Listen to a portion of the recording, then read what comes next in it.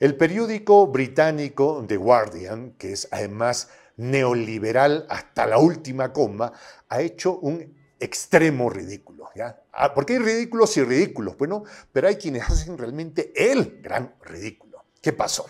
Bueno, ha presentado una prueba contundente respecto a que tienen la manera de demostrar cómo el entorno cercano de Vladimir Putin conspiró para interferir en el proceso electoral del 2016 para asegurarse que gane Donald Trump. Ellos tienen la prueba contundente y la han publicado. ¿sí? Bueno, lo curioso del caso, lo curioso del caso es que la única prueba que tienen es un papel impreso en cualquier fotocopia, ni siquiera a mano, sino impreso, en, eh, impreso eh, tipeado en computadora, escrito en ruso, y que esa sería la prueba. Ustedes imaginan, esa es la prueba contundente de The Guardian, ah, del periódico británico, para eh, implicar ah, al presidente Vladimir Putin, para asegurarse que ganara el señor Donald Trump. Es en serio. Es más, presentaron como prueba que el documento clasificado tenía el siguiente código. 32.0 VD. Un papel impreso. Un papel impreso que corresponde supuestamente a una reunión de los Sloviki, que es el grupo cercano de los hombres poderosos alrededor de Vladimir Putin. Y la única prueba que tienen es un papel impreso. Señores de The Guardian, en serio, en serio, ¿quién es el director de ese medio? ¿En qué lugar estudió? Cualquier estudiante del primer ciclo de periodismo sabría que esa no es una prueba en ninguna parte del planeta. ¿no? Tendrían que haberla eh, contrastado, tendrían que tener... No, pero esto no les importó, no les importó absolutamente nada. Ya tienen su prueba, la publicaron. Por supuesto, no les interesa hacer el ridículo. Además, entendamos, no les interesa contar verdades, les interesa implementar narrativas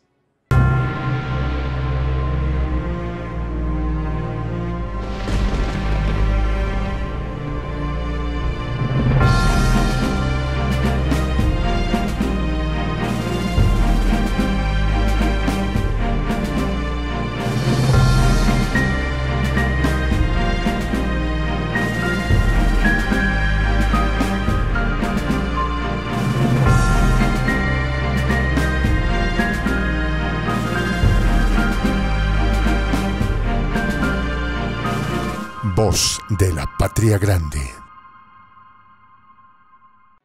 Calumnia contra Putin. Apoyándose en documentos impresos supuestamente firmados por el presidente ruso, el diario británico The Guardian afirmó que el mandatario acordó con tres empresas de seguridad de su país favorecer a Donald Trump en el 2016. Las pruebas de medio británico son papeles que no responden a puño y letra de nadie. Sí, son papeles impresos, según el medio, en el Kremlin, algo muy fuera de lo común. Documentos supuestamente aprobados en una reunión secreta del Consejo de Seguridad Nacional el 22 de enero del 2016. Los impresos presuntamente redactados por el alto funcionario ruso Vladimir Simonenko fueron catalogados como número 3204 BD por The Guardian. En el documento detallan lo siguiente. Una victoria de Trump conducirá definitivamente a la desestabilización del sistema sociopolítico estadounidense y verá estallar el descontento popular. Trump es el candidato prometedor. Esa fue la supuesta reflexión de Putin. Asimismo, se indicó que era sumamente necesario la utilización de toda la fuerza posible para facilitar la elección del aspirante por el Partido Republicano. Insistimos, todo esto en la narrativa del medio inglés. Es así como los políticos coincidían en que una Casa Blanca gobernada por Trump ayudaría a asegurar los objetivos estratégicos de Moscú.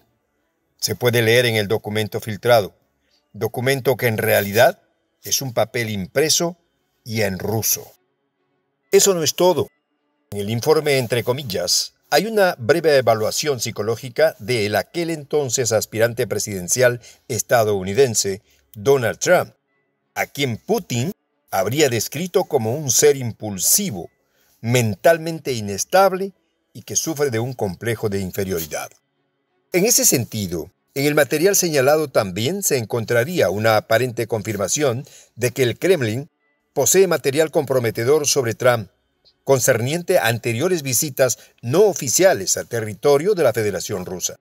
Por otra parte, el invento creado por el diario británico expuestos desde la óptica de Moscú recalcaron varias debilidades estadounidenses, entre ellas el abismo político ocasionado entre la derecha e izquierda, las gestiones de en aquel entonces presidente Barack Obama, entre otros asuntos. Además, el documento cita varias medidas de respuesta que Rusia podría adoptar en respuesta a los actos hostiles provenientes de Washington. Previo a la sesión en el Kremlin, el 14 de enero del 2016, Simonenko distribuyó un resumen de tres páginas con las conclusiones correspondientes a la espera de la aprobación final de Putin. Reiteramos, esto según The Guardian. Dos días después, el líder ruso dio instrucciones al entonces jefe de su dirección política exterior, Alexander Manchosín, para que se convocara a una reunión a puerta cerrada del Consejo de Seguridad. Es lo que también se llega a leer en el artículo del medio. Luke Harding es el periodista que firma esta investigación nosotros nos hemos tomado un poquito el trabajo de saber quién es este personaje y resulta que tiene una larga fila, tiene un rosario de acusaciones de haberse apropiado de investigaciones que nunca fueron de él. Eso se llama piratería, se llama apropiarse lo que no es de él, pues, ¿no? Bueno, acá tengo, acá tengo. ¿Quién es Lucas Harding? Acusado de diversos plagios para escribir artículos, ¿no? Además, una historia terrible, llena de historias falsas y demás. El equipo de investigación acá Prensa Alternativa escribe San Google y San Google te cuenta la historia de quien fuera. A ver, en principio, nosotros, nosotros no estamos acá para justificar los accionarios ni para barnizar las acciones que se puedan llevar en el Kremlin. No, ese no es, no es nuestro tema. Lo que no está bien es que alguien imprime un documento y diga, esta es una prueba. Porque mañana imprime un documento diciendo que el J recibe financiamiento de una ONG cuya sede está en Marte y nos embaucan a todos a partir de un documento. Lo terrible de, esta investigación, entre comillas, publicada por The Guardian, es que medios del planeta, medios neoliberales del planeta, ya han comenzado a, rebotarla. ¿no? Entonces, lo dice The Guardian, lo dice The Guardian, la prueba, no les importa la prueba, entonces ya tienes 200, 300, 500 medios en el planeta que comienzan a, a, replicar y al final ya tienes una, narrativa instalada. Ese es el gran peligro. La idea, así, en realidad uno lo lee y dice, pues jalado los pelos, ¿no? que estaban revisando la situación de, Moldavia y en esa reunión Putin pidió información a ver cómo está, ah, que se constituya un equipo para apoyar a, Trump y a ver qué hacemos para bajarle la llanta a Hillary Clinton. Ahora, pruebas, o sea, seamos contundentes con el tema, cuidadosos con los temas de las pruebas, porque, insisto, pueden ser utilizadas solo narrativas a partir de un periódico, de un, papel impreso, y nos bajamos a cualquiera a partir de un papel impreso. Señores de la Guardia, aquí les damos un espacio para que hagan su descargo. ¿ya? No se sientan mal si ustedes sienten que han sido maltratados acá en Prensa Alternativa. Les damos el espacio para que ustedes den su punto de vista. No, este, este papel tiene las huellas digitales del mismo Vladimir Putin. Allá, ahí, ahí conversamos. La vergonzosa prueba representada en papel no queda ahí. Según el material de dudosa procedencia, se hizo referencia a la contrincante de Trump en los comicios, Hillary Clinton, en los que se detallan presuntos ciberataques hacia ella. A pesar de que el portavoz de Putin, Dmitry Peskov, aseguró que la sesión de los líderes de la Federación Rusa respaldando a Donald Trump es una ficción total, las pruebas de que sí existió una reunión en los pasillos del Kremlin son verídicas. Sin embargo, estas obedecerían a una reunión normal que, por el contrario, al ser a puertas abiertas, no tendría que considerar temas tan delicados como ese. Este es el sello distintivo de una publicación de muy baja calidad, manifestó Peskov. Los especialistas han mostrado su repudio ante esta información vertida. Uno de ellos es el doctor en sociología Sergio Fernández, quien calificó este hecho como un esperpento. Desde esa perspectiva, Fernández dijo que lo publicado por The Guardian es un fake news. Si aún nos creyéramos esta noticia porque Rusia consiguió que ganara Trump en el 2016 y no consiguió que venciera en el 2020, se preguntó el docente de la Universidad de Murcia. Cabe resaltar que el artículo fue escrito por el periodista británico Luke Harding y otros dos empleados del diario. Harding tiene un historial de publicaciones falsas que desprestigian su labor en los medios de comunicación.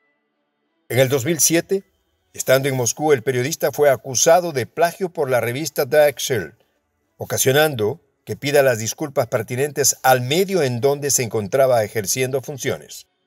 Entonces, ¿cómo creer en la credibilidad de este medio británico teniendo ya antecedentes de publicaciones copiadas provenientes del mismo autor? Peskov cerró su exposición señalando que The Guardian le encanta hacer de vez en cuando intentos desesperados por atraer nuevos lectores.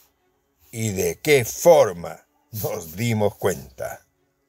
Soy el J, Juan José del Castillo, director del canal Prensa Alternativa.